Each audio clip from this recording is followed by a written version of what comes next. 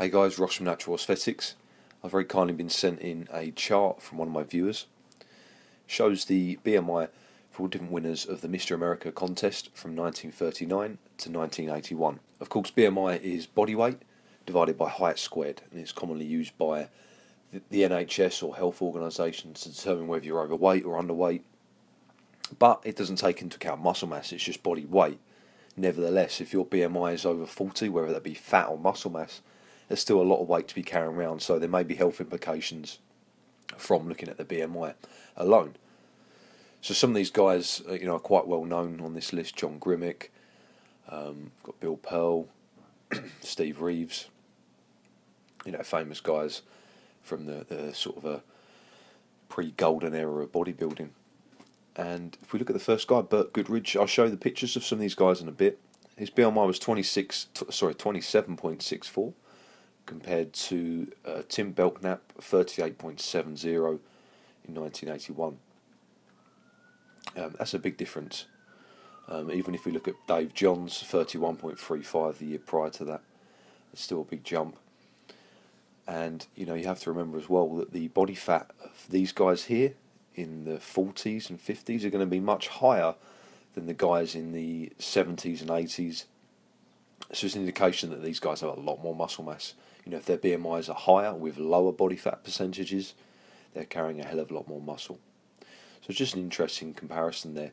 If we go to the next chart, which is courtesy of a website called Pure Natural Bodybuilding, we can see the average BMI um, pre 1995 to post 1995. So, kind of when um, HGH and insulin, human growth hormone, and insulin was introduced, there was a massive increase in the athlete's BMI in IFBB bodybuilders.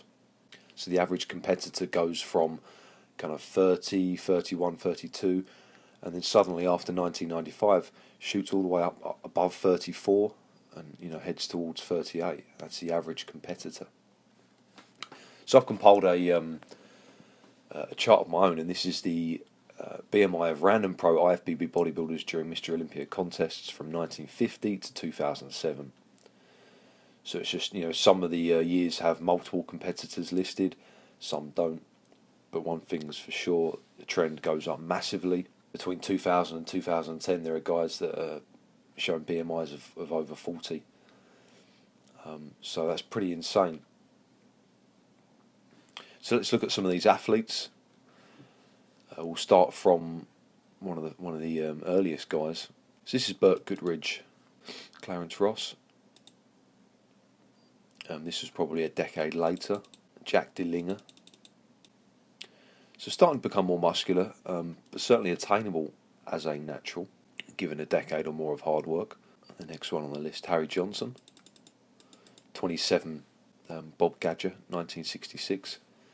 Very nice physique. And then boom, we've got uh, the uh, 1981 winner.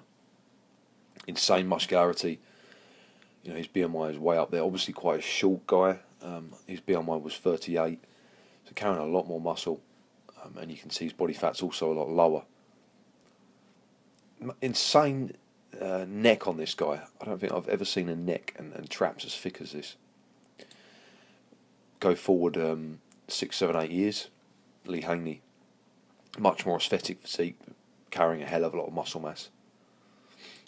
And then another 10 years from there, Ronnie Coleman BMI consistently over 40. Here he is battling Nasser. So the physiques have changed so much, it's, it's just unbelievable. And then Jay Cutler in 2005.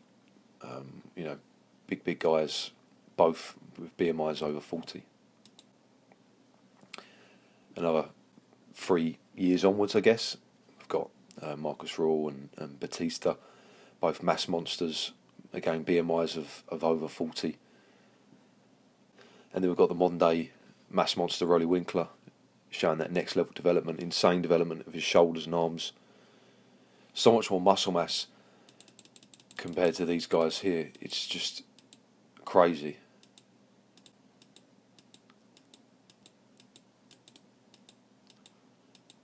The transformation is just insane. So I just thought I'd compile some of this data. I do find it quite interesting. If you enjoyed the video, give it a thumbs up, subscribe for more, stay strong.